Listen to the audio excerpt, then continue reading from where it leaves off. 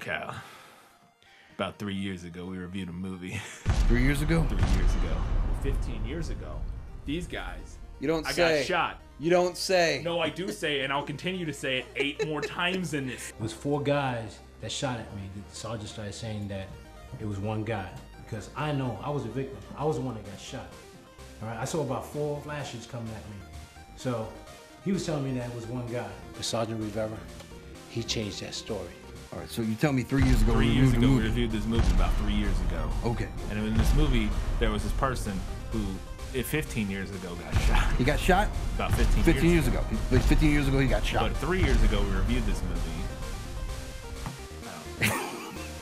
It's Alex Maisonette! Again. Oh, fuck. Hello, welcome back to the. Hold on, don't move.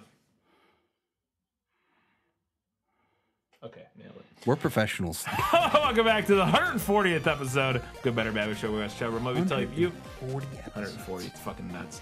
Tell you if you should too. I'm your host, Mr. Bryan Shilgo, joined as always by my other host, Mr. Kyle Hinton. Kyle, people have been asking for so long for us to finish off the Alex Maisonette Yes. quadrilogy. right? It's four what was films. It? It was uh, Narcs? Narcs. Checkmate, Checkmate, Lady Turf Rider, War. which Turf War, yeah. Lady Rider. I think they're the same Um, thing. And then finally, The the Duh Curse. The Duckers. The Duh Curse.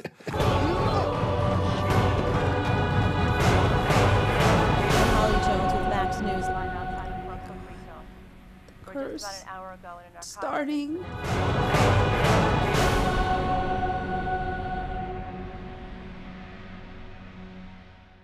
Oh boy, this is Ma- Alex Maisonette's second film. what was the um, first one? Was the first one Narcs? First one was Narcs, and we'll talk about that. We'll t- I have so many questions, Kyle. This movie, you fucking texted me before I had started watching this and said, I want to read it directly. Unironically, this is Alex Mays' best work. And I said, interesting. And you said, strongest writing.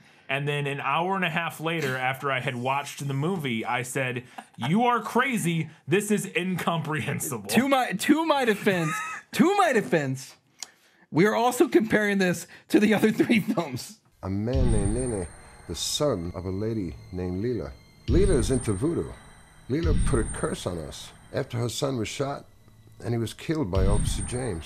According to Officer Prima, she said that Leela was powerful. She is a high ranking voodoo priest. Of course, Mike. Sure, but this might be the least comprehensible Alex Maisonette film, in my opinion. It's. I will give you this. If this is what you meant, this movie has the most interesting kernel of a story in it. Yes. The most unique, interesting idea for a story buried somewhere in here of like. There's like a million storylines, which is the main issue I have with Well, this. with all of his eight trillion plots going on, but like there's this kind of interesting storyline of um the, the Santeria interplay with the police department and this cop who is uh, also a, a practicing member of Santeria and has been discriminated against because of that and then becomes part of the plot to get revenge against the police but actually is still a I there's an interesting idea somewhere in there but it is I was waiting for there to be some sequel tease. I don't even know how they could. I, how could you even keep track of the plot threads in this movie enough to make a sequel? No clue. But the other thing I was interested to know is if any, and I don't remember because it's been so long since we've watched his movies. If any of these characters are the characters, Yes, they are There's one. right. There's one. Is it only one? There's one. There's one connecting guy. Who? Blaze. Yo, Domingo is Blaze, man. He ain't looking too good. What the fuck you got on your face? Yeah. So he's got the same name because I wrote that. It's just like Blaze. There's, I mean, there's a Rocco, but I'm pretty sure Rocco in Turf War and Checkmate was just like a run of the mill cop. Every actor is from the other movies Yeah, in this movie. because movie. Alex Mason only knows and like the- 20 yes. people. And there's that one guy who's eventually becomes a detective, the bald guy, like the handsome bald guy. He becomes mm. a detective in Turf War, maybe? I think so. And he's a beat cop in this one, I think. And I was wondering if that also lined up, like if this is his I backstory. think he But was a sergeant. or whatever. But but he's not a detective. Like he becomes like a detective later Yeah. on. But it can't play. It can't match up too much because Alex Mays' character in this one is not his characters in the other No. one at all. Let me tell you something, man. I buried my mom and my brother over shit like that. My condolences to you, your mom, your brother.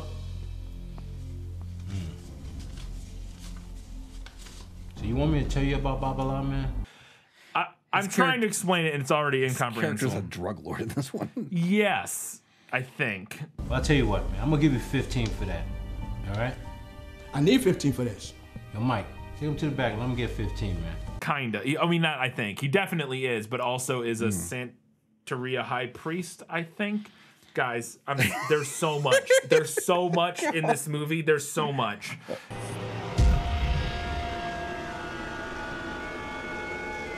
This is revenge for my brother, for my mother.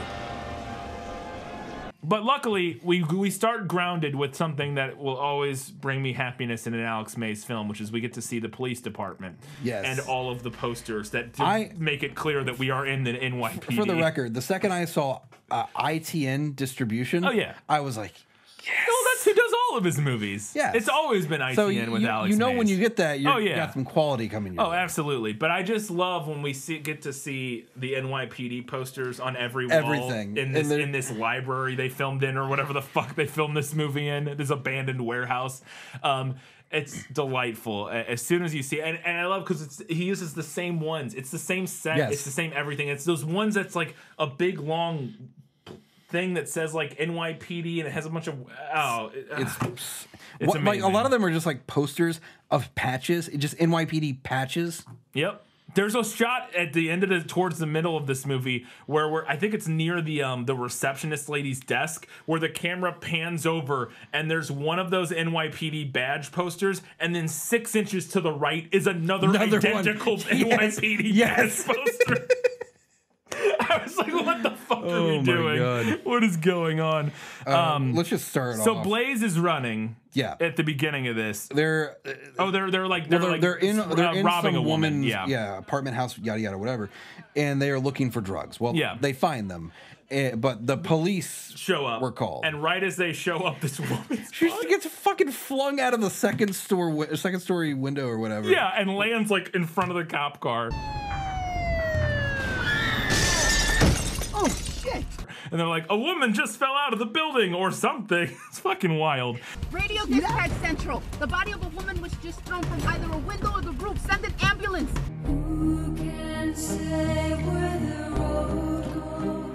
And then the, the, the two guys, Blaze and his partner or whatever, Hmm. come running down the stairs.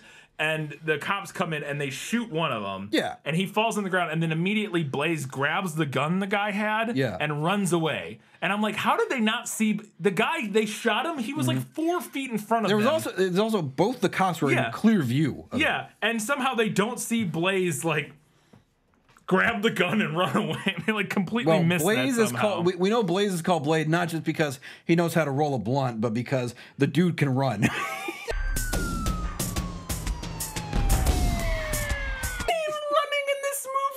It's so like ridiculous. Stephen Baldwin. yeah. he he he chugs his arms so fast and moves so slowly.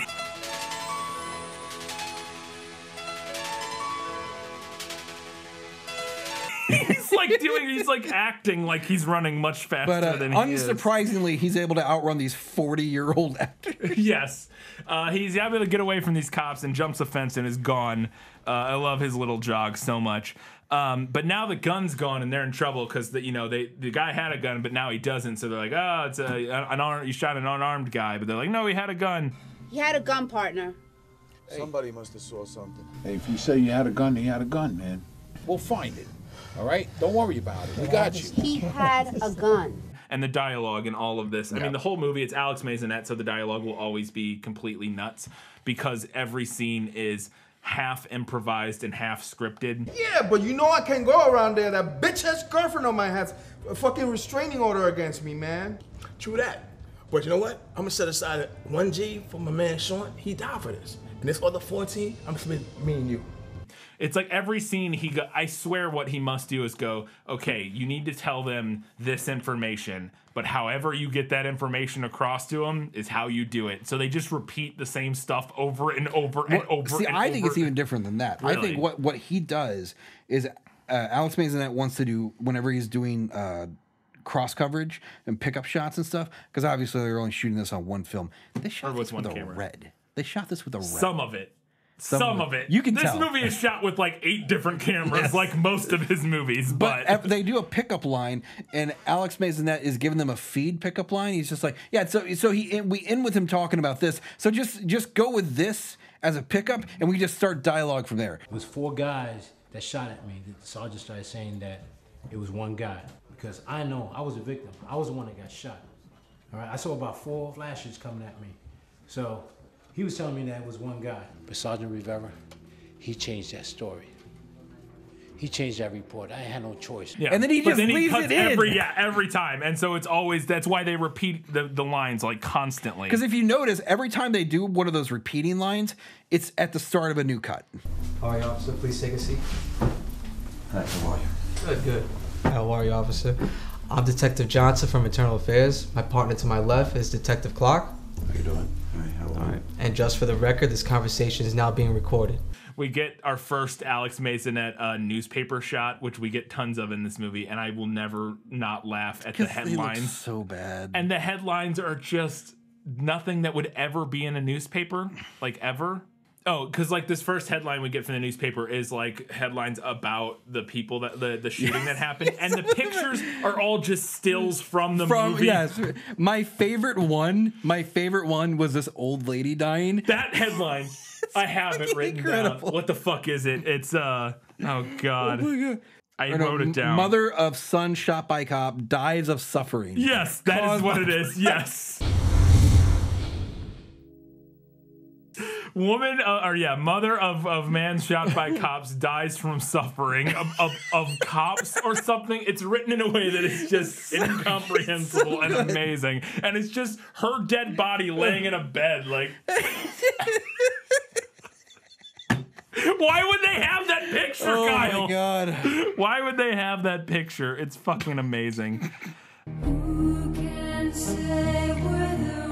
Uh, we cut to the police station, and uh, I love at one point where the captain is sitting in his office or at his desk, and we we get uh, behind him, or it might not be the captain, it might be the bald guy. Behind him on a, a peg on the wall is a Narcs jacket, and this was Yes. filmed right after Yes. Narcs. Yeah, and I was like, nice little Narcs uh, flashback there. Sober is It's so amazing. good. Well, it's 10 years now, and I'm still here acting as a drug dealer, running around with Big Ed. For this case, I'm Jackson. I'm Uncle Mace. And then all the cops, they're coming in after the shooting, and they're all gonna go chat, and they're like, "We got to talk. Where should we talk?" And the guy's like, "How about the men's room?" Hey, uh, let's uh, go talk somewhere up there. Where do you want to go? Men's room? Let's go find a place where we can Men's room. talk. All right, let's go to the place. Okay, and they all walk into the bathroom to chit chat. And act like that's a normal thing. I guess that might be a normal thing, like for like shady cops, like because there's no no um like microphones Yeah. or anything. And maybe that's the idea is like, oh, they're going to chat because there's no there's no Well, mics in so the like bathroom. th- th- this officer, Officer James, I think is. it's James. Yeah, his last name. So is he's James, he's yeah. on immediately under scrutiny for like you you for know shooting this guy, yeah, yeah. who they think is unarmed because he didn't have a gun, yeah, or they couldn't find the gun. Yeah. Um, and so now he's he's under investigation. He's got like uh, the, the Yeah. suspension and everything. And he was already suspended once, like a month ago, for shooting somebody else. Shit, that's gonna be a problem. You know, it's the second shooting Officer James was in in the last six months. this guy shoots everybody all the time. Spoilers: he should not be a cop, and that is not the message of this movie. We get to the end, and they're like, "You tried." it's like oh what? my god. Wow. This is a blessing. It's a blessing. It, it clears it like it was an accident. You hear? he murdered three people in this movie. Well, like. I'll, I'll, I'll give him. I'll give him this first one because Well, he the had a dude gun. had a yeah, gun, he had a and gun. it was like pointing, pointing at it at him. Yes, but from uh, yeah, but from everything else we've seen, this guy just straight up just shoots people all the time, no matter what. His first reaction is, "Whoop, bam!" It's like, all right, great, fantastic. Police, don't move. Also, so then we cut and we got to introduce the captain's wife. Mm. So the captain is one of the guys from all of the other Alex Maisonette movies, the old guy with the white hair, Ro- Rocco. Rocco, and we go meet his wife. Uh, in this one, who's uh, much younger than him, but they want to have a baby. Mm-hmm. Yes, and she's this is this is classic Alex Maisonette writing. She says ten years ago like eight times. in the Yes, span yes, like, yes. sentences. I wanted another baby 10 years ago. Mwah. And so did I, and I'm glad this is happening. Mike, after all these years, I really feel this is the right time. Waiting that five years to try again to have a baby. she exposits their entire history of trying to have a child to her husband who was Who was there, there? for the whole He thing. was there. We lost the last two babies. The first at seven months, and the second one, Matthew. Two days on a respirator, and then he died. It's all obviously for us, the audience, but she's just like, and then you remember our second time we tried, the baby lived for a few months in the NICU and then died, and the guy's just like, Bryan, remember Yeah. a, remember a month ago when we shot those episodes? Do you remember a month ago when that happened? Well, anyways, a month ago when we shot those episodes. oh, oh yeah. Oh, right. I Thank you for there. telling me about that, Kyle. I because I forgot. Yeah. Like it's like oh remember that time our child died after two months like it, it's so the, the whole scene is incredible it's amazing But now I am six months pregnant, Been and I'm looking doing good. fine and carrying in good health. um, and I was like oh 100%. and she's like but luckily this time I'm six months pregnant and things are going great And I was Nailed like, it. well she's gonna fucking No, die yeah. she doesn't but almost Mike, this should be it. I thank God every day. I love you. A few moments later. Hey, my God, what happened? Why is there blood all over the sheet? So then uh, James is getting investigated by uh, you know uh, internal affairs or whatever about what happened, uh, and My God, this internal affairs officer is fucking. he was he was in one of the other movies. He's Mhm. one of the guys that Maze hates in one of the other movies. I movies. think he's a dirty cop in Narcs. It was you that I could never trust. You're a monster. Trust me. And I'll see you in hell soon. Not that soon, my old friend. Drop the gun! Drop the gun! I think he might be a dirty. He's a dirty cop in one of them, um, but in this one, he's like an internal affairs guy or whatever. Um, there's some great editing here where we- we're like cut from James being interviewed by the police to some random person we have yet to see doing like magic rituals or something like with chicken leg, you know, Yeah. and which is ultimately we'll find out what all is going on there. And then it just hard cuts from that to a spinning newspaper flying at the camera.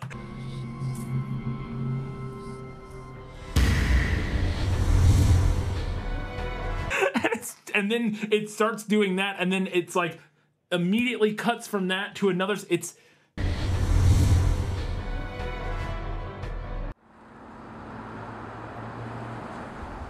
What's up, guys? the the editing in this movie.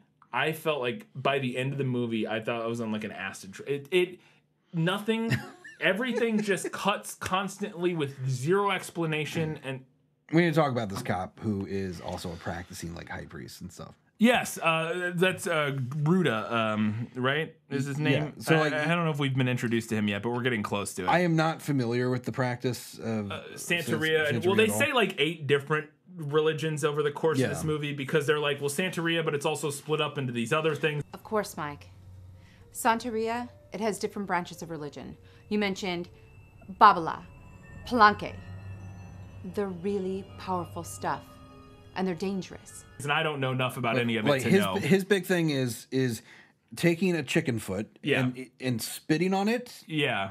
And With like some sort of like liquor or something, he drinks something and then spits it on the. And then and then taking a puff from a cigar Yeah. and then blowing smoke onto it. I think this is accurate-ish. It seems like Maze knows Yeah. enough about what's going on here. Well, to- I would to- hope so because literally accurately. everybody in this movie is either a cop or some practicing member of yeah, Santeria. and they call most of them like high priests or priests or something like that in the movie. And again, I don't know if that's the right terminology or whatever. Do you know who she is? Who is she? She's a high priestess in brujeria. I love when we're introduced to Ruda, he has a voiceover. Yeah. And he goes, I'm an NYPD during the day and a Santero during the night. Hi, my name is Michael Ruda. I'm a New York City police officer. I'm a cop during the day and a Santero during the night. I've been transferred a million times because of my religion. I'm also a victim. A victim of NYPD for various reasons. I'm discriminated against. I'm made fun of. And all because I have my religious beliefs and convictions. And also, as he's walking, and he's like, "This is my first day on the new job at this first at this new precinct," and he walks in, and his police uniform D- is so not eight sizes it's too so- large for him. He's such a thin guy. He looks like a child wearing his father's like police uniform. It is incredible. I love it so much. Oh fuck. Today is my first day at this precinct. I hope this individual captain will one day understand that I'm here to help. So then uh, James is like, I can't work with this guy. I was just driving, minding my own business, and he started rubbing an egg on me, and I don't know what's going on, but I can't work with him because he's fucking crazy. I get along with everybody on the force, and you know that. No matter skin, religion, anything. But this guy, I just can't roll with. It's this new guy. This uh, he's actually an old timer, Officer Ruder. Also, he was lying, and that's this is the thing that's so strange in this movie is we set up this Yes. James guy as like a bad guy the Yes. whole time, like he murdered, and we haven't even gotten to the part where he murders the kid or whatever. Um, we haven't even gotten to that part yet. But in this part, he's lying that that he was like driving, and this started happening when actually he was like sleeping on the job, and so Mhm. we're, I, all of this is setting up the idea that this guy's like a bad guy. Yes. I'm driving, minding my own business, doing our tour, right? All of a sudden, I feel something on my arm. I'm scrolling up. I stop the car. I turn around. He's putting an egg up my arm.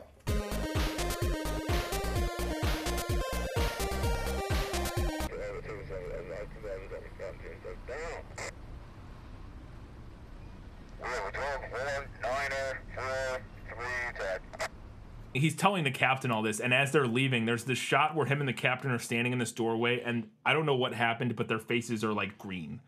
I, the color correction or something was completely off. Their faces are like green. It's very strange. I don't know what was going on. Um, but out of nowhere we just get a random interspersed shot of a doorway exploding. It's great. I understand.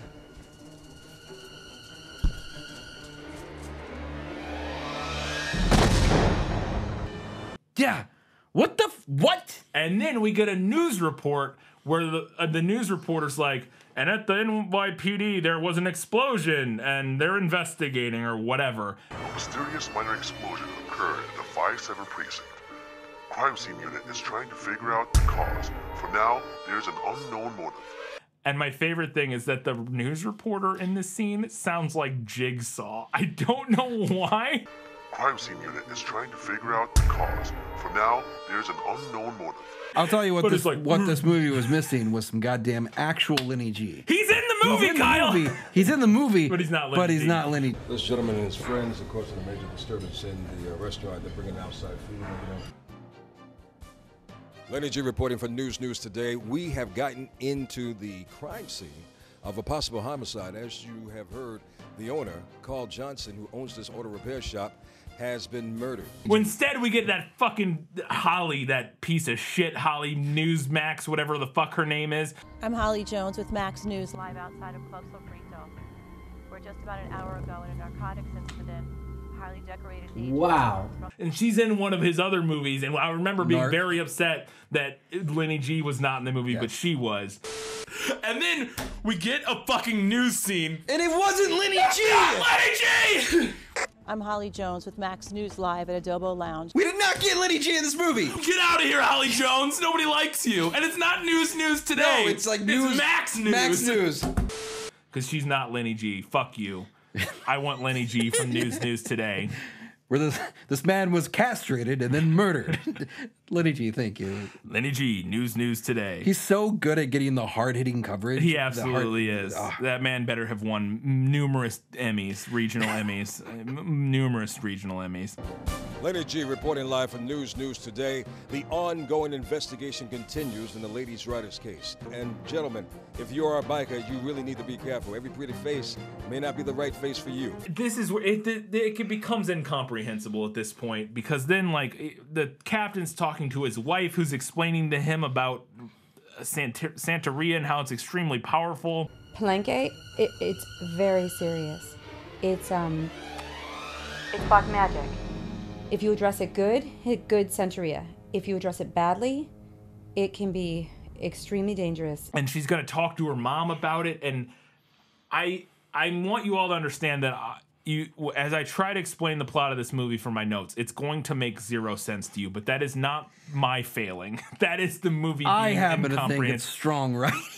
I please go watch this movie. It's on Tubi, and then come back and go in the comments and explain to Kyle how this movie makes no fucking sense whatsoever. It is random scenes. I, no, I'm not saying it makes zero. Like there are through lines that There, you there, can there glean. is a skeleton, kind of. Kind of, but it is so incomprehensibly edited that you can't figure out. wh- It's so Mm. impossible to keep track of characters and who's doing what, when, and why.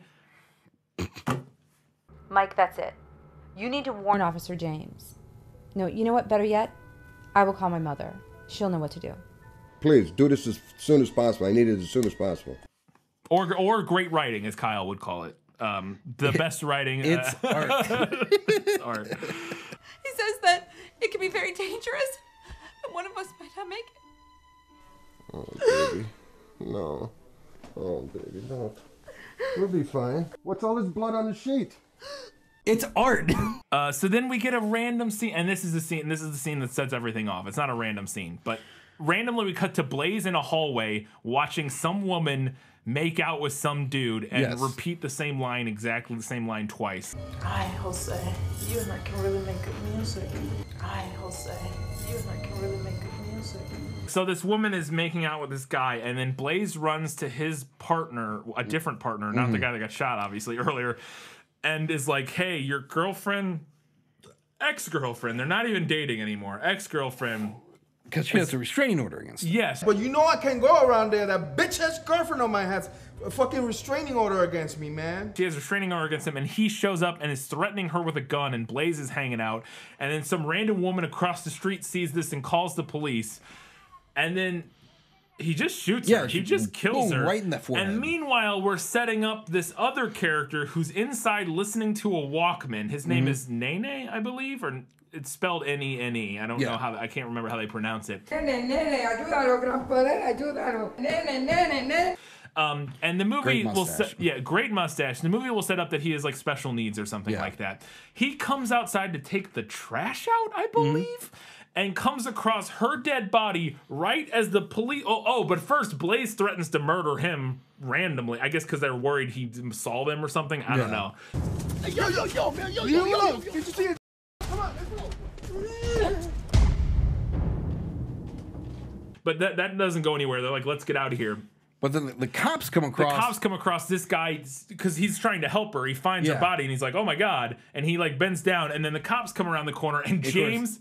He's got, you know, I mean, they, Oh, they yeah, claim yeah. he's got earbuds. He's got earbuds in because he shit. listens to a Walkman. That's like his character quirk. Is like he listens Yeah. to a Walkman, and so the uh, our officer Shooty Shoot comes around the corner, Just immediately immediately blows him away, and is like, "Oh, you had a Walkman. I thought it was a gun."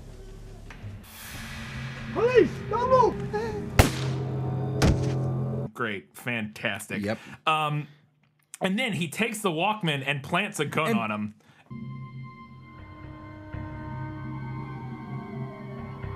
Don't even think about it. It was an accident. and and his and and and Prima, who is this is where we're kind of introduced to Prima, who's one of the other main characters. Um, uh, she's like another, and she's like, "What are you doing? Don't do that." Don't even think about it. Also, he plants a gun on them that does not have a magazine in it. No. I don't know if you've Yeah, I noticed, saw that. but you can see the bottom of the Yeah, gun. it's like it's like a little Walther. They just like, eh, which there you go. happens numerous times in this movie. We'll talk about the other one here in a few minutes. So, uh, chaos breaks out. There's like people who's like like a crowd has formed, and there's like reporters and the police are there, and the the old woman who is the mother, I believe, or grandmother of, Uh, of she- Nene comes out and she curses them. Just puts a curse on them. uh, Okay. Supposedly, that's what she says. Um, she's she's yelling at them in, in her native language and, and puts a curse on them. She's a high priestess in brujeria. What the fuck is that? She just cursed you. She put a curse on you. Prima's like, uh, you got a curse on you. We fucked up. this is all bad now. um, and I love we cut a close up of the woman who got shot in the head and the fucking latex appliance It's on her. so- you could, the seam, like the edges are so bad. It's not. It's it's real rough. It is exceedingly problematic. It's not asymmetrical. It's just crooked and wonky. Uh, uh, and also then Prima just punches the shit out of James. That was fantastic. she like hauls off and just punches him in the Yep. face. it's like well done. Then you're a motherfucking rat. Fuck you, I ain't no rat. Go. She is Um, now bedridden. Like, j- I, you know, it's it's it's. Oh, the old lady. Yeah, the old lady. The old lady. is- I'm not Prima, she yeah. is- oh no no yeah no my brain's Yeah, well, that's what literally my note here is. Yeah. Kyle, this is giving me anxiety. This editing is literally giving me anxiety. The- the- there are like twelve different plot lines going on at once. the here. old lady is now bedridden ridden from from suffer from like mental suffering. yes, Uh, and, as we find out in the news article that says The- she died from suffering. and finally, finally, Alex Maisonette shows up. yes, and he he gets He's like the son of her as well. I believe he's yeah, because I think it was his brother. Yes. like the yeah, it was because Nene, the guy that got, and I think I keep saying Nene, and it feels like wrong, but it's spelled something like that. Mm-hmm. Um, it, it was his brother that got killed, um, and he shows up on the crime scene and he finds a badge while Yes. he's there that somehow everybody missed. It's just Well, sitting so on the the badge got knocked out, and then we had a scene afterwards where they had Officer James, like it was his badge. Well, but he has a second badge because he gets a badge later because it, there's a mix up with the. Ba- we'll talk Yeah. about that. That's wild. Um, but also we, the number of times this is one of those moments where, like you talked about earlier, where clearly Prima was given one thing she had to say, which was that she grew up around this kind of stuff, and so she says it like eight thousand times in every scene that she's Yes. in. For her. Yep. She's like, I grew up around. They this need stuff." to know that you know this shit. yeah. I grew up in this stuff. I know about this. This is no Listen, joke. say this- I grew up around this stuff. This is very serious. Do you know about it? Do you? Because I do. You may not believe in Santeria or in brujeria, but it exists. It's very real. I know. I grew up around this stuff. Uh, she ends up resigning though. She goes in. She goes in and she she's trying to tell everybody that hey he he was crooked and that this lady put a curse on us and they're like you're crazy. We got to take you to the psychiatrist. You need to go to the psychiatrist, whatever. And then she goes into the captain's office or the sergeant's office or something Mm-hmm. and it's like no this is what's going on. He's like you're crazy. You got to go to the psychiatrist. She's like well fuck you. I resign and she slams her badge and her gun down. Because I resign Effective immediately. And this is that other moment where she slams the gun down. No magazine in the gun. Nope. she Nope. doesn't take it out, like which is a thing they sometimes do in movies. She doesn't do that. She just slams an empty gun down on the counter. Effective immediately.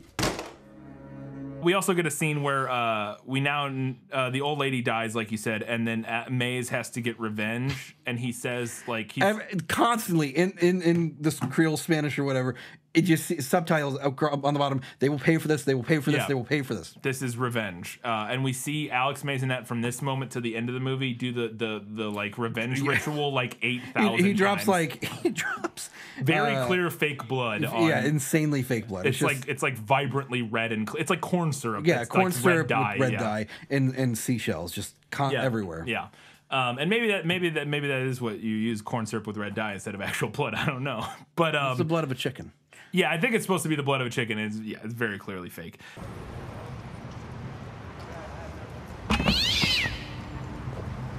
Prima gets home from resigning at the police station and when she gets into her home she hears all this like sounds like somebody is in her kitchen breaking all her dishes or Mhm. something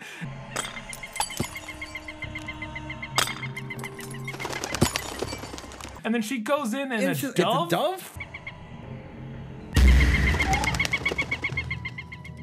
flies out the window and i'm sure that it's like some Which meaningful I religious was thing like surprised that they were able They to just get a dove yeah, for this. it's a real dove and flies out go, the window. Alex. Yeah, it's not like a bad effect, you know. Yeah. it's actual dove.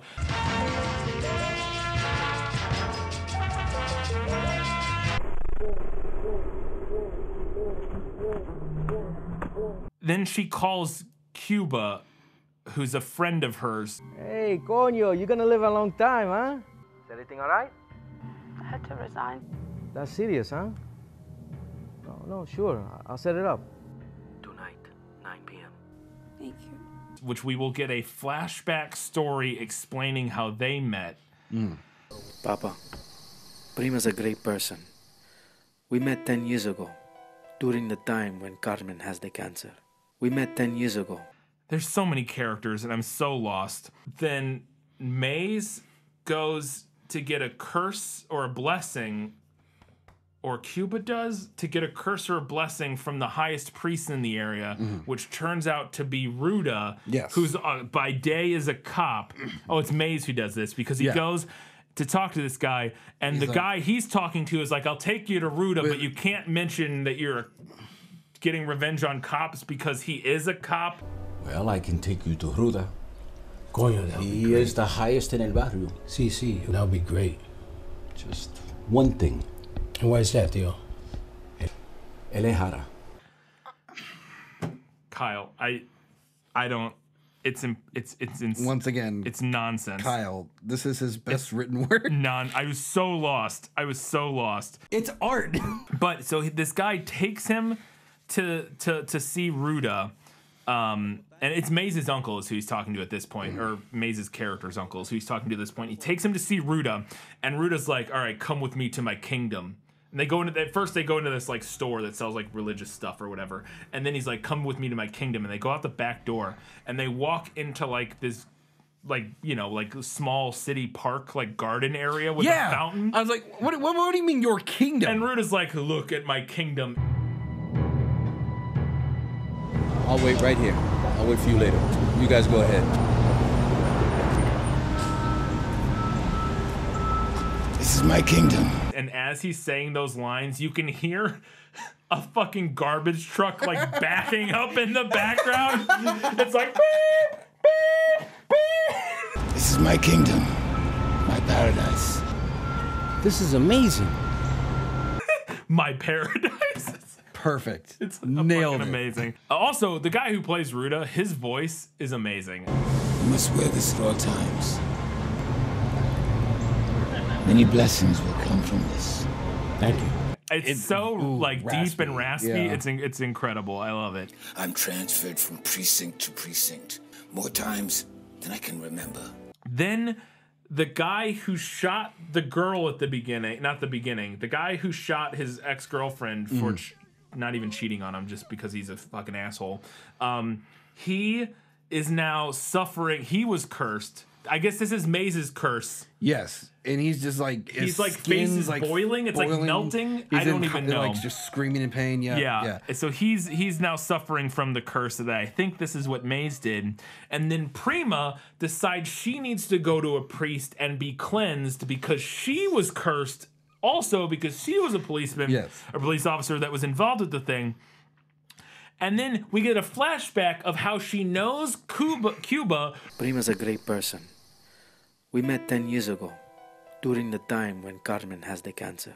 who is the guy who's taking her to a different priest to get cleansed. So we have a whole scene that's a flashback of how her and Cuba met. and Cuba was robbing a store. Yes. So I tried to rob this store. What's this? Eso es todo lo que yo tengo, es el dinero que yo No, tengo. no, no, no, no, no. I know you got more No, money. eso es todo lo que tengo, no. And there's this great moment of him putting his mask on to go rob the store, and he so can't get the fucking face holes over his eye. It's like It- over it his rem- it nose. reminded me of Peyton Yeah. Manning. Oh yeah, yeah. I was thinking of the uh, the scene with the um the uh, uh is it in um. Uh, Django Unchained with the cake where they're trying to put the masks on and the face Oh, hole, the eye holes aren't like. Damn. I can't see fucking shit out of this thing. That's what I was thinking of because it's like he has an eye hole over his nose and he's like, I can't. What the so impractical. but he ends up he goes to steal from this like the Guy bodega. that he knows and he worked for. Loco, yo sé que tú eres, tú eres Cuba, que tú eres cabrón, tú trabajas para mí, tú trabajas para mí por seis meses. a guy he worked for, he goes to steal from him because his wife, who I thought was his mom 100%, is dying from an unspecified illness Yes. and he needs the money to pay for her treatments. That's all they say. There's no details about it.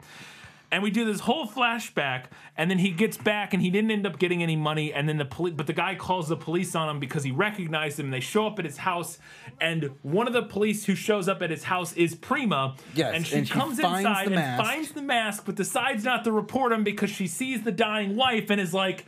Aha, you are a good guy. Actually, you're trying to help your dying wife, so I'm not going to turn you in. Yeah, James, he checks out. She comes back later and gives him a buttload of money. Drug money, specifically. Is it drug money? Because her dad was a drug drug runner, drug lord, or whatever. Yes. And she said, "My my dad, before he passed away, told me to use this money for something good. Now it's drug money, and I I don't feel like I can do any good with it, but maybe you can." Yes, But of and then he's like, "Great, thank you, fantastic." The the money also is hilariously fake. It's just printer paper. Yeah. Oh yeah, yeah. But he's like, "Fantastic, I owe you one."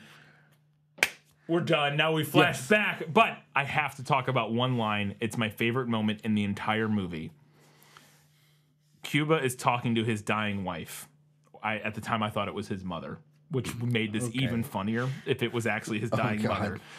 But wife, it's still funny. He says to her, "It was." He's like, "Oh, I did a bad thing. I tried to go rob the the bodega down the street. It was supposed to be simple. It was supposed to be an in But I and out job." he says it was supposed to be an in and out job, It was supposed to be a simple thing, in and out.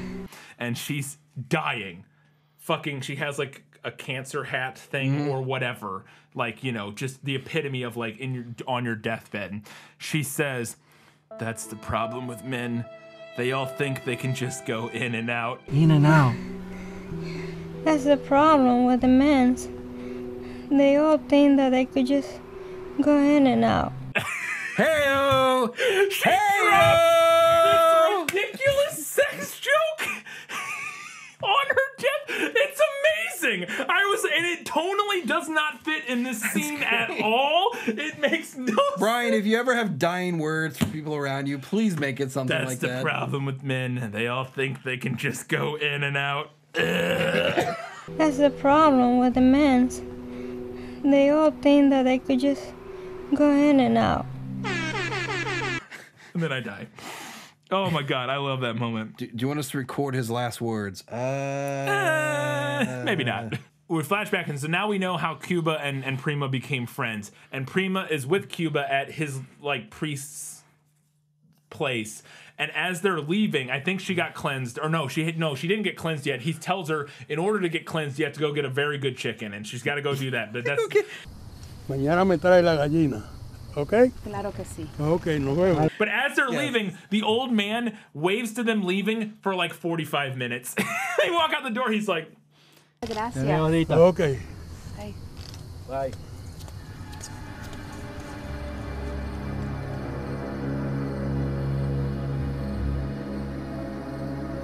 He's still waving when they come back. for real. It's so weird and awkward. I love it. Um, but oh, surprise! Remember that plot line about the the captain's wife who was six months pregnant? Got to get back to that randomly. Oh, man.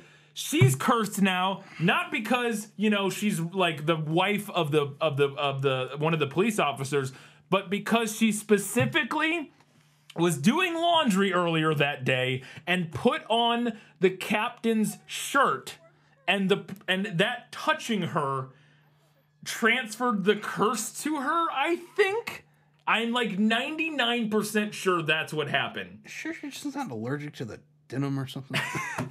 but she says oh i went to the doctor and the doctor was like hey everything was fine yesterday now your baby's dying There's complication now. I don't know what happened two weeks ago. There was everything was fine. The baby was healthy. Everything. And now Dr. Laura says there's something weird. The baby's not breathing well, and they might have to induce labor. but she was treating herself with the traditional way you treat yourself Oil and cranberry oil juice? and cranberry juice I've been putting cream on my stomach. It's an old remedy that my grandma used when I was a little girl. It's cranberry and oil and all these other herbs. It's supposed to help my skin stay tight. uh, rubbed on her stomach and and that's why the sheets are they're not bloody they're cranberry juice covered trying to explain this movie is giving me a gigantic headache kyle it's it's insanity Once again, Alex Maisonette's strongest writing. It's art.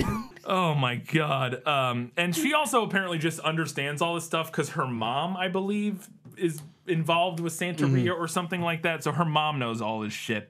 No, you know what? Better yet, I will call my mother. She'll know what to do. Please do this as soon as possible. I need it as soon as possible. Then we get a black and white scene in a restaurant. Yes. This is where Lenny G shows up, by the way. Yes. So where Lenny G shows up, and Kyle, it took me so long to realize this was all a dream. Did you Oh. realize that's what's going on Yeah, here? because it's an Alex Maisonette film. Everything in black and white's a dream. Is that always the case? Yeah. When else does that happen? Uh, in Narcs, I believe. Oh.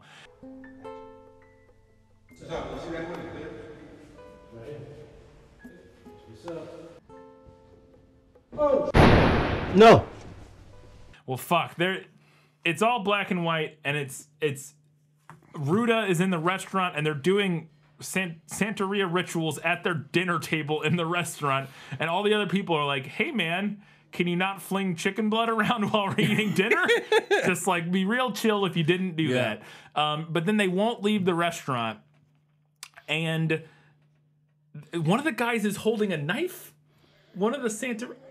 None of this is. It's all crazy, Kyle. I don't understand what's supposed to be happening in Mhm. any of this.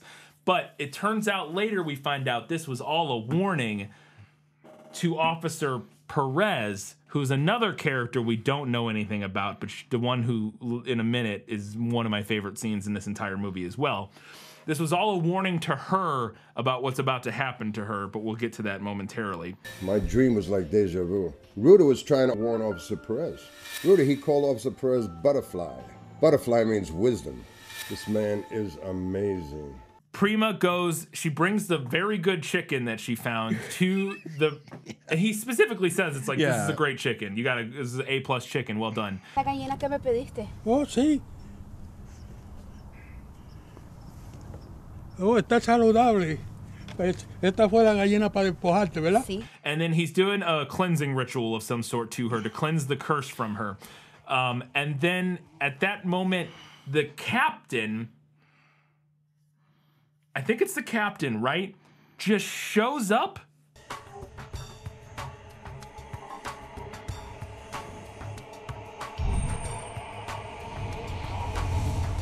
Yeah. Yeah. Yeah, he just How randomly did he show- find her?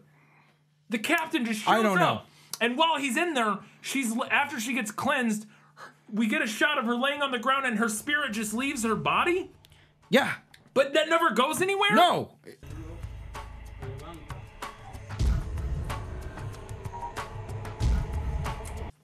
I don't Okay. Kyle. I don't understand anything that happens in this movie. It's art. Uh, James is like, you gotta go find the guy with the gun so that I can get not in jail for murdering people. Gotta find that black guy with the gun. All right? You gotta have it. Without that, I'm You dead. can count on us. But that's not the the guy with the gun is irrelevant to the thing that he's would be in jail for, which is murdering the kid with the Walkman. That was not the the And gun is irrelevant to that. Yeah, and the gun is irrelevant to that because Yeah. the gun was the guy he shot. The other guy he shot earlier in the movie. That's the problem with the men's. They all think that they could just go in and out. Uh, also, there's a big dramatic uh, uh, emergency like call, like there, a big emergency call goes out. Yeah. So everybody's like getting their uniforms and stuff and then ready. the music during this is incredible. It's just it's it, oh, I'll just put it in.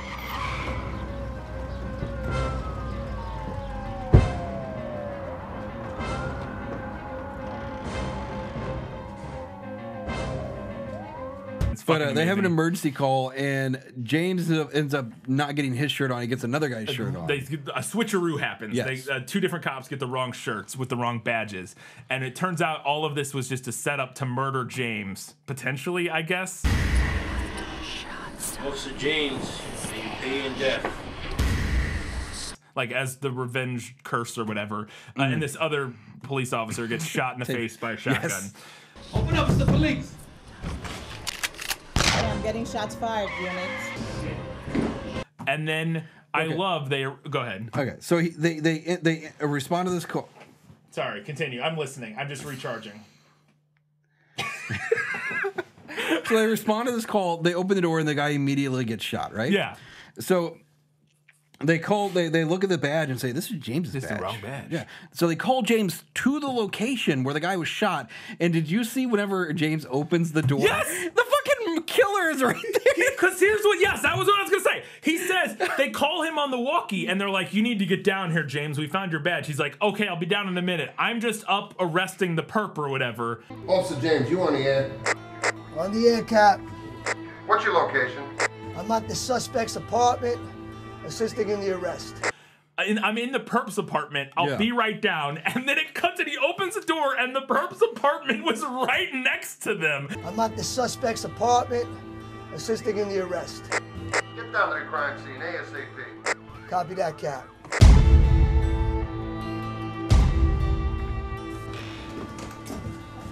Cap. I think he was on a, like clearly like he he was done with his scene for that time because I think he was on a phone. Yeah, he's just like standing. It's fucking wild. It's incredible. Uh, I guess when we got the call, he must have took my shirt and I took his. Uh, so they had the wrong badge, and then we watched the captain read a book about Santeria like eight times in over the end of this movie, and every it's so amazing because it's the same shots over and over Yes. again. But also, my favorite thing is the book just has a sticker printed on it that says Santeria. It's not like the actual title of the book. No, it's like it's they just like, like, oh. found a different book and they stuck a sticker on This it. really that doesn't. It really doesn't tell us that it's about Santeria. What would if we st- do a label maker and just and put we that put on a top? tarot card on it and then put a sticker that says Sant- it's probably Nailed not a it. tarot card but whatever It- Perfect. it's fucking amazing I Need the police at Sofritos at 117 and Sterling Avenue. These men try, trying to beat up my manager. then the black and white scenes from earlier that was a dream are now happening for real in the restaurant Hey, let's break this up. All Let's break this up. right, okay. Let's break this up. Okay. Have 5-7 Wilson disregard that call now. and I cannot follow any of this. But the amazing thing that happens is that after the, the, the thing in the restaurant transpires, Officer Perez was one of the people there. She come and she's also in other Alex Mm. Mason movies in different roles. She comes back and she's in. She's like getting undressed, like you know, ta switching into her civilian clothes or whatever in the locker room, and she drops her gun.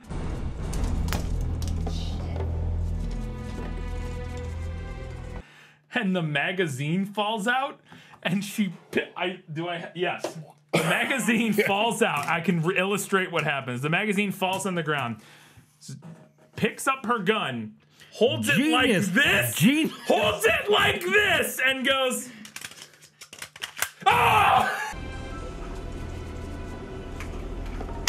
Oh! and shoots herself with the fucking gun Also, wouldn't the round already been chambered that entire time? Yeah, it would have. I mean, yeah, it, it had to have been to be to Real- shoot because she real safe. she yeah, so she had a round in it, and and yeah, but, but my favorite is just she. This this is how I I always put my magazines into my gun is I point it at my face and then I put it in. Boom. Good to go. Oh! Fucking amazing. Uh, so she gets shot in the shoulder. Oh! Um, and they're like, oh, wait, that's why he called her the butterfly. Because he knew she was going to shoot herself in the shoulder. And it was a warning, Kyle. Obviously, this all makes sense. What are you talking about? Officer Perez got shot. Oh my God, is she all right? She shot herself in the shoulder. Everything else is okay. Prima ends up going back on duty after she got, you know, taken off of the case or whatever Mm. or, or resigned. The captain's wife gives him a protection bracelet so that he will be So, protected like, from they're the curse. Good, I guess, on their end. Yes. Blaze is cursed too. He's got the rash all over his face, and, And he so- goes to Maze. Yes, and he's Domingo like, is- I need cleansing or Yeah. some sort of. and Maze's character is also uh, like a priest or whatever. And so he goes to Maze, and then he's explaining wh- how this all happened. And he explains, and Maze realizes he was involved in In- the the thing that went down with his brother. Yeah. Where it got his brother killed. I swear, man. I heard that shit on the news. You heard that shit, man, man? Let me tell you something, man. I buried my mom and my brother over shit like that. My condolences to you, your mom, your brother. Um, and so he takes him into the back room. He's like, "Oh, I'll help you." And as he's walking away, he pulls a gun out, and it's the exact same gun that the cop planted on his brother earlier, which makes no sense. I mean, I guess. Well, I mean, it could be the same gun, just a different whatever. Sure. But it's but it's very clearly the same But- gun. They just use the yeah. his solution, his character's solution, is to have Maze testify that he stole the gun. I guess to get some sort of deal. Yes. Domingo convinced him to turn himself in. He said he would lift the curse. He said he was going to do all of this for the sake of justice.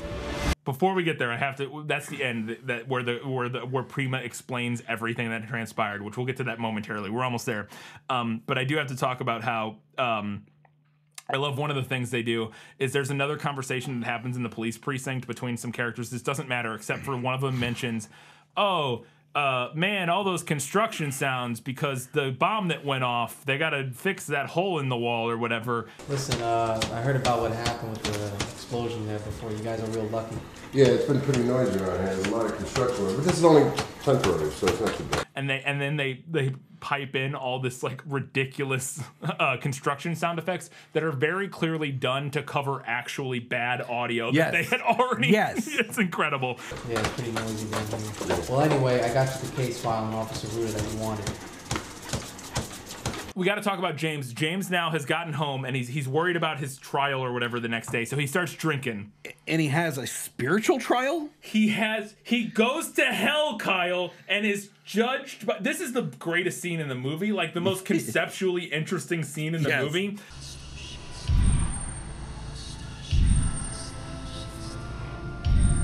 Does the defendant have words of mercy before the jury makes a decision? He ends up in hell, and they are. We have 11 minutes. He ends up in hell. he ends up in hell, and all the dead. We also didn't talk about. Um, meanwhile, Sal has been murdered. Yes.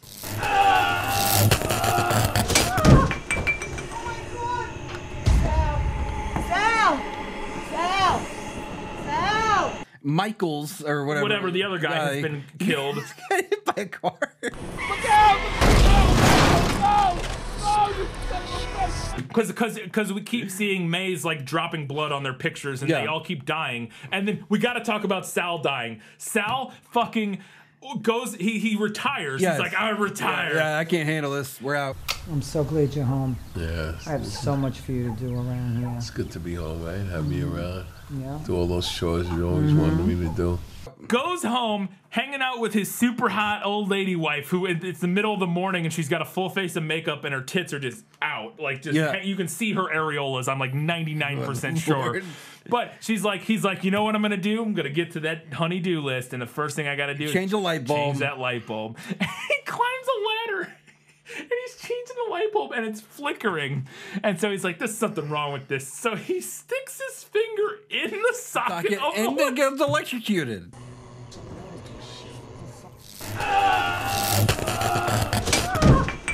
It's amazing. It's fucking amazing. Oh my god. Well, yeah, and the other guy had already gotten run over in a in a scene that rivals Neil, Neil Breen, getting Breen. hit by a Pretty car. good. It's pretty good.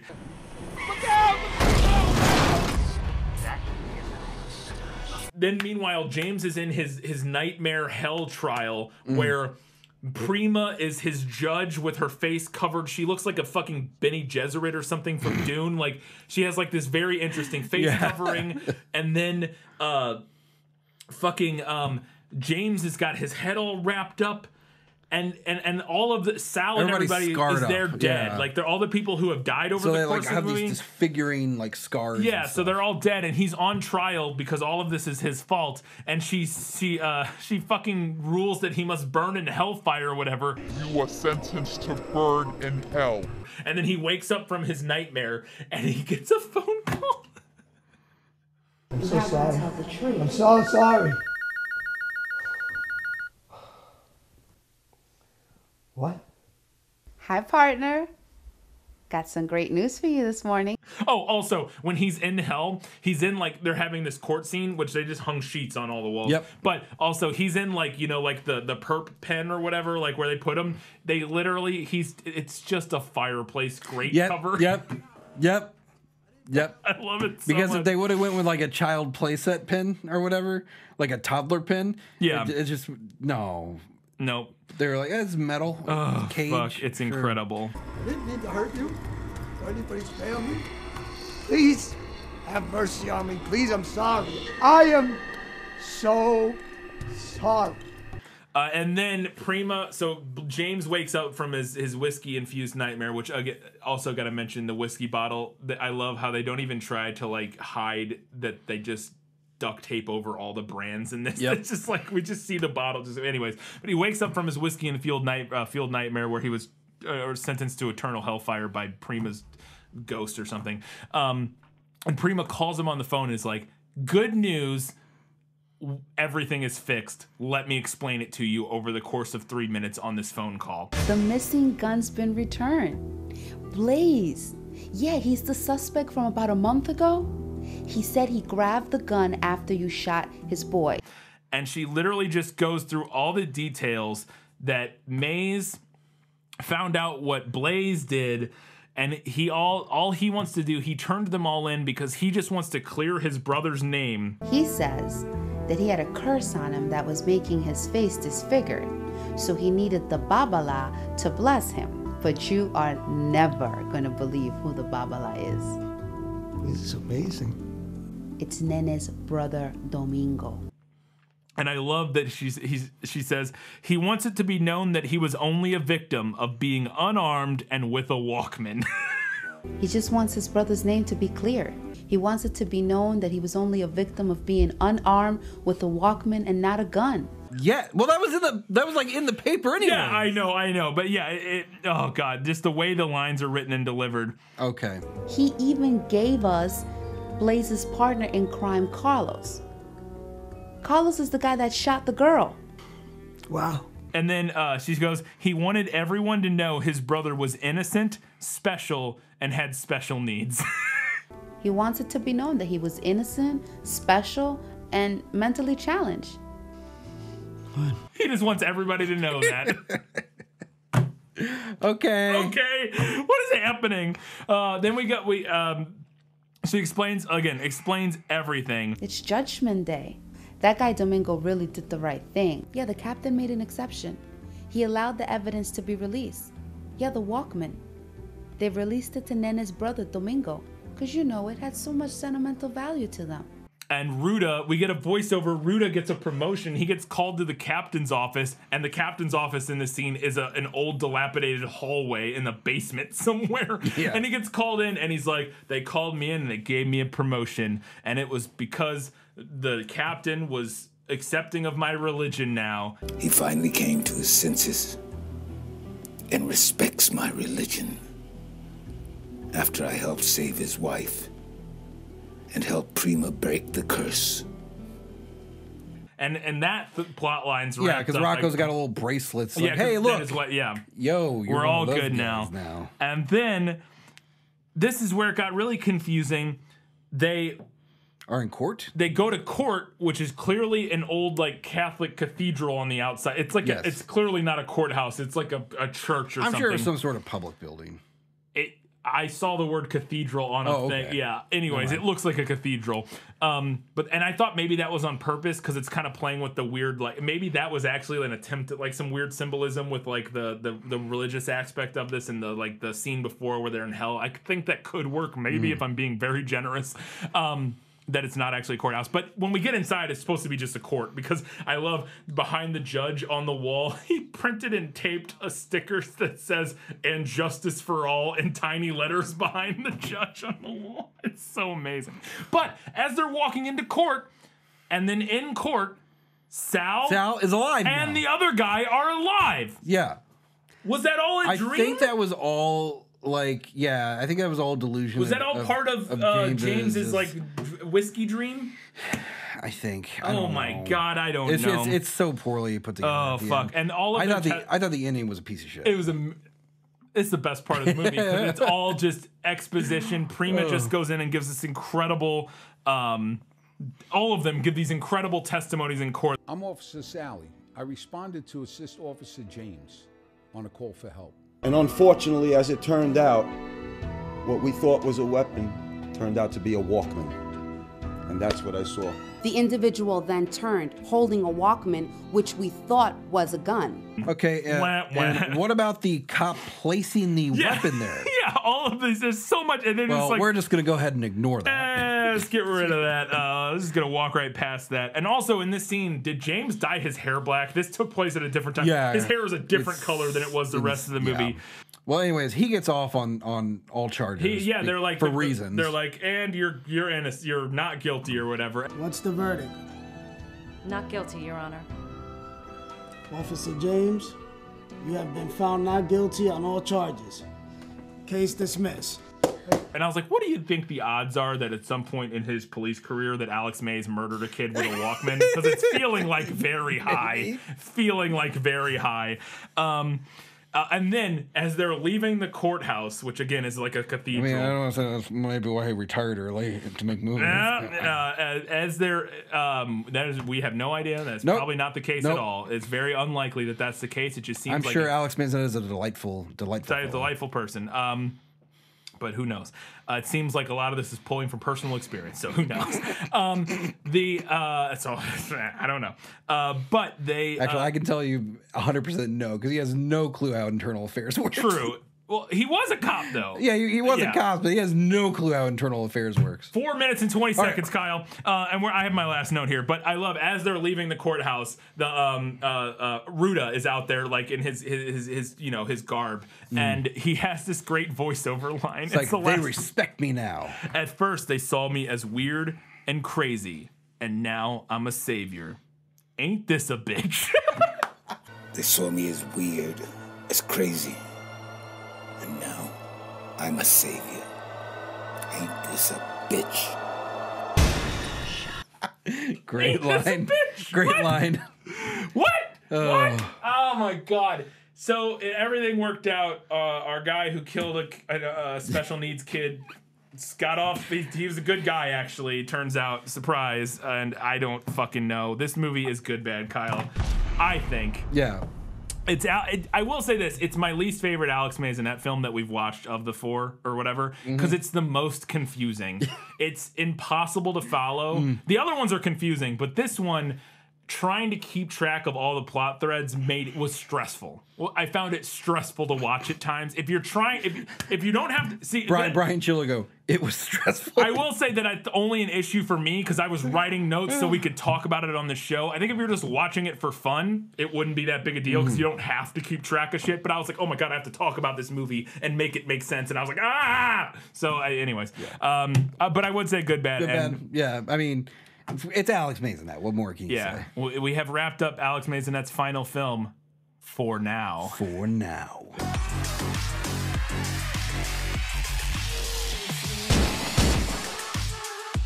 I don't want that for you. Please stop seeing this book for now. I'm gonna put an end to this.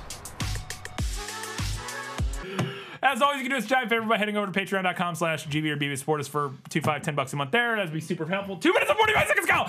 I have a podcast called This Film Is Lit where we talk about movies that are based on books. When this episode is out, the most recent episode will be, I don't know, uh, we did Dune recently, but that's not the most recent one. When this one's out. Dune 2. Dune 2 Electric Boogaloo. It's not, I don't, fucking, um, Dune 2 more, sa- even more sand. Merch store, which Bryan's actually fla- uh, TeePublic.com, got uh, search for Good Bad or Bad Bad. Yes. The link is also in the description. You just Get a go coffee there. mug. It's pretty cool. Uh, it's really great. Um, Twitch. Uh, uh, Twitch.tv uh, with our names. It's on the screen right now. You can go to those places and you can watch us do We're streams. super official. Two minutes and 12 seconds, Kyle. Um, and then, uh, oh, you have even less time on yours. One minute, 59 seconds, Kyle. Um, and then, um, fuck, what was I gonna say? Uh, Twitch, uh, yeah, uh, we both stream occasionally on there. Um, there was something else I was gonna mention. Fuck, uh, fuck, fuck, fuck, fuck, fuck. Um, oh, thank you everybody who recommended this. Uh, not that we weren't gonna do it eventually, anyways, because it's you know it's out. Yeah, exactly. It feels good concluding. We did finally get to it, uh, and it's been a while. It's been a long time coming. Um, and then uh, one minute and twelve seconds. keep watching movies, especially, Especially- it's on Tubi. Just search for "The Curse" or Da "The Curse. Curse." I don't, it depends where it's named. Different things, different places. Some it's D apostrophe Curse. Other ones it's The Curse. And get the your mileage fill. may vary. Get your fill of Alex. Get your Mason. fill of Alex Maisonette uh, in what is maybe his strangest movie, and that's saying something. Yes. Still got a minute twenty, baby. We're goldy. We're golden. You just want to screw around for. a. How's the weather? That's really nice, actually. It's been really it's um because it's Halloween right now. We're Yeah. filming this. Beautiful day. I'm gonna go have some chili for dinner. What is that? like the.